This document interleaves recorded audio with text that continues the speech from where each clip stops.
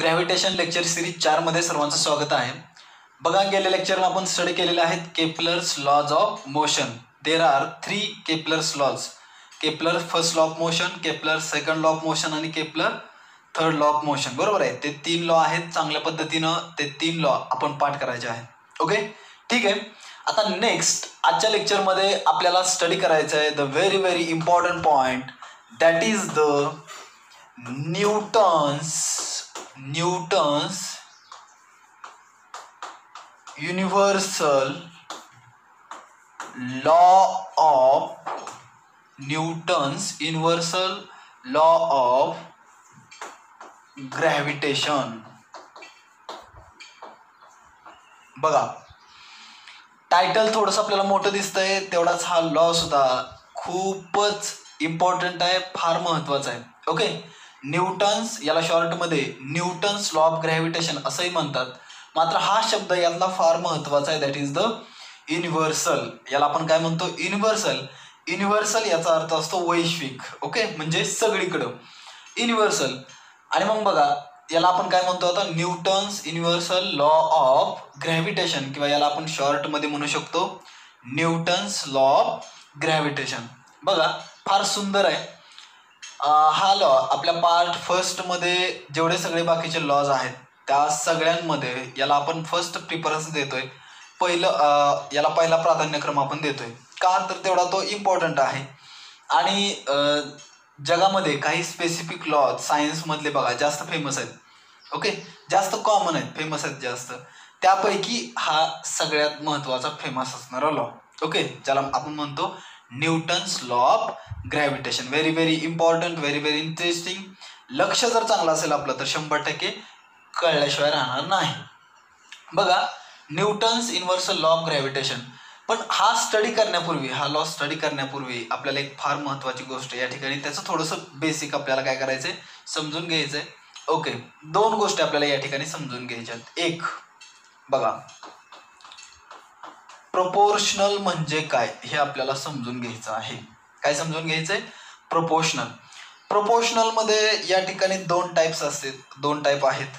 एक त्याला आपण म्हणणार आहे डायरेक्टली प्रपोर्शनल कसलं proportional directly proportional and the another type is the inversely हे युनिव्हर्सल आहे युनिव्हर्सल हे इनव्हर्सली ओके इनव्हर्सली आता मराठीमध्ये जर यांचे अर्थ आपण घेतले तर ह्याला म्हणतात समानुपाती याला म्हणतात व्यस्तानुपाती. मराठीमधलं उलट अवघड आहे जास्त. हे आपण व्यवस्थित समजून घेऊयात. बघा प्रोपोर्शनल आणि त्याच्यामध्ये दोन प्रकार आपण करतो एक डायरेक्टली प्रोपोर्शनल आणि दुसरं ते आहे म्हणजे इनव्हर्सली प्रोपोर्शनल आता काय अर्थ आहे? हे जरा नीट आपण काय करत समजून घेऊयात. आता ध्यानात घ्या. प्रोपोर्शनलसाठी हे अशा पद्धतीचं साईन यूज करतात. बघा this is sign of proportionality याला काय म्हटलं जातं? प्रोपोर्शनॅलिटी प्रोपोर्शनल यासाठी हे साईन यूज केलं जातं. मग ते डायरेक्टली असो किंवा इनव्हर्सली असो साईन कोणतं यूज करणार आपण? हे. ओके मात्र दोघांचे मिनिंग हे मात्र डिफरंट आहे. ते मिनिंग आपल्याला काय करायचे समजून घ्यायचे बघा या ठिकाणी लक्ष द्या. आपलं डेली लाईफमधलं एक एक्झाम्पल घेऊयात आपण कॉमन बघा एक कार्यक्रम आहे आणि त्या कार्यक्रमामध्ये सांस्कृतिक कार्यक्रम आहे त्या कार्यक्रमामध्ये पन्नास खुर्च्या आहेत. बरोबर आहे? मग प्रेक्षकांची संख्या त्या ठिकाणी बरोबर त्या ठिकाणी त्या खुर्च्यावरती किती प्रेक्षक बसतील आपल्याला माहीत आहे? पन्नास. बरोबर आहे?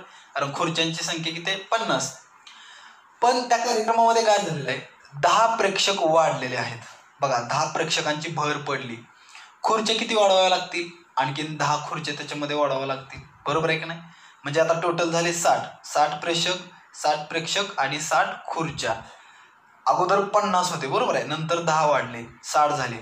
आणखीन दहा प्रेक्षक वाढले. खुर्च्या किती वाढवाव्या लागतील आणखीन? दहा खुर्च्यांची भर त्याच्यामध्ये पडेल. This is called directly proportional एका घटकाची किंमत वाढली की त्याच्यावर डिपेंडंट असणारा दुसरा घटक त्याची किंमत सुद्धा वाढते. यालाच आपण काय म्हणतो? डायरेक्टली प्रपोशनल असं म्हणतो.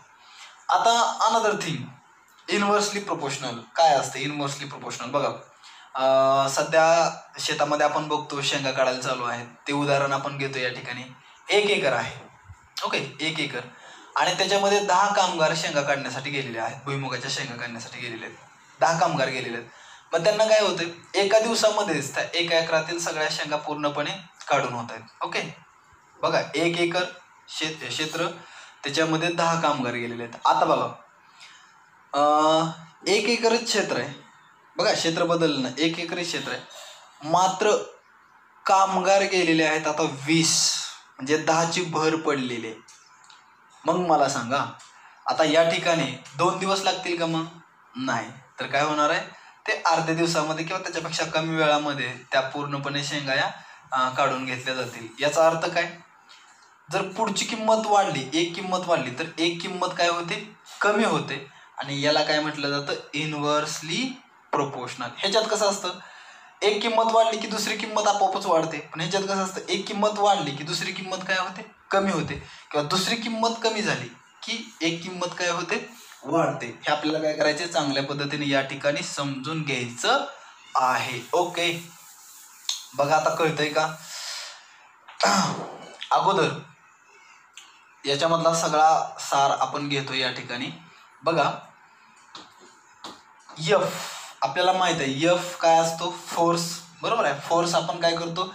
कॅपिटल यफ या लेटरने काय करतो? डिनोट डिनोट करतो. आता बघा. फोर्स इज डायरेक्टली प्रोपोर्शनल बघा मी काय म्हटलं. फोर्स इज डायरेक्टली प्रोपोर्शनल बघा आता इथं. मी काय केलंय? स्मॉल यम काढलेला आहे. स्मॉल यम ओके आणि अजून एक स्मॉल यम काढलेला आहे. आपल्याला माहीत आहे का बघा मास मास ऑफ द ऑब्जेक्टसाठी वापरलं जातं small m mass of the object एखाद्या वस्तूचं मास किती आहे आपल्याला माहीत नाही. मग त्यासाठी आपण लेटर कोणतं यूज करतो? स्मॉल यम पण इथं दोन ऑब्जेक्ट आहेत वेगवेगळ्या. त्याच्यामुळे मी काय म्हणतो यम वन म्हणजे पहिल्या वस्तूचं मास यम वन दुसऱ्या वस्तूचं मास यम टू लक्षात येते का बघा बरं? हां पहिल्या वस्तूचं मास यम वन दुसऱ्या वस्तूचं मास यम टू बघा हे जे रिलेशन आपल्यासमोर मांडलेलं आहे या रिलेशनला आपण म्हणतोय बघा फोर्स आणि मास या दोघांमधलं रिलेशन जे कसलं आहे? डायरेक्टली प्रपोशनल आहे. कसलं रिलेशन आहे? डायरेक्टली प्रोपोर्शनल वालं रिलेशन आहे. आता दुसरी गोष्ट. हां. फोर्स इज इनव्हर्सली प्रपोशनल आता इनव्हर्सली म्हणलं की कायम ध्यानात ठेवायचं. अंशस्थानी एक येतो नेहमी. इनव्हर्सली प्रोपोर्शनल आणि डायरेक्टली प्रोपोर्शनल या दोघांमधला फरक कसा ओळखायचा? इनव्हर्सली प्रोपोर्शनलमध्ये अंशाला अंशाला किंमत किती येते? एक येते. आणि छेदाला मग ती किंमत जी असेल ती.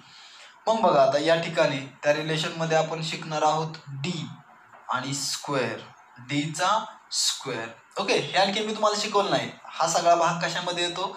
ह्या न्यूटन्स लॉ ऑफ ग्रॅव्हिटेशनमध्ये येतो. पण मी तुम्हाला तो अगोदरच सांगतोय. त्याला कारण आहे काहीतरी महत्वाचं. हां. आता force is inversely proportional to the बघा square of the distance okay square of the distance मग बघा आता काय आहे इथं? हे डिस्टन्स जर का वाढलं तर फोर्स कमी होईल का वाढेल? तर फोर्स काय होणार? कमी. इकडची किंमत वाढली की इकडची किंमत कमी होणार. इथं तसं मला सांगा.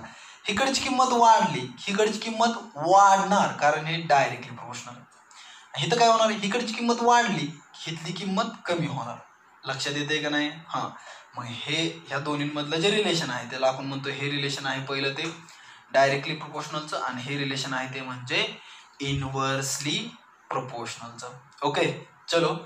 Newton's universal law of gravitation सांगतो काय? ते आपल्याला बघायचं आहे अगदी सोप्या भाषेमध्ये. ध्यानात घ्या.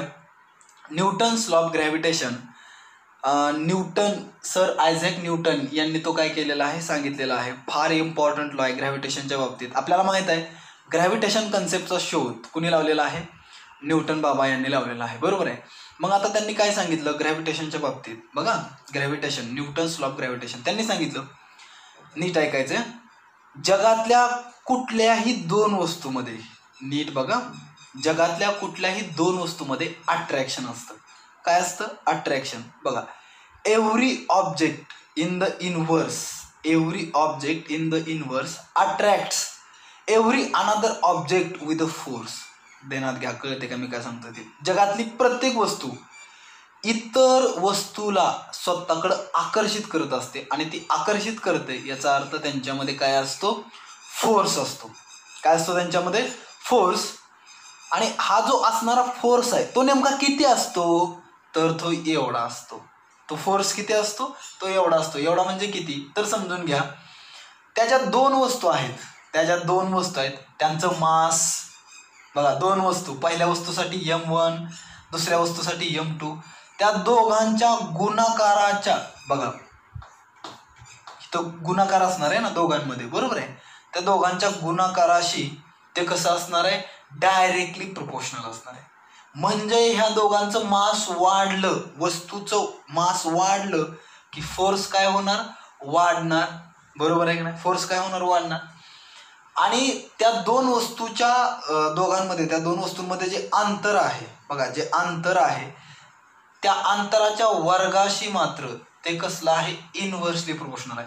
म्हणजे मला सांगा दोन वस्तूमधलं अंतर वाढलं तर फोर्स काय होणार? कमी होणार की नाही? खरं की नाही बघा लक्षात येते का? अंतर जसं जसं वाढेल तसं तसं फोर्स कमी होईल. अंतर त्या वस्तू जशा जशा एकमेकांच्या जवळ येतील तसं तसं काय होईल? अंतर कमी होईल. ओके ध्यानात घ्या.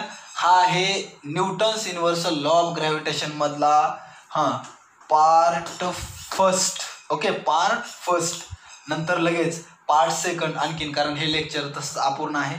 पार्ट सेकंडमध्ये हे कंटिन्यू होईल. ठीक आहे? धन्यवाद. थांबूयात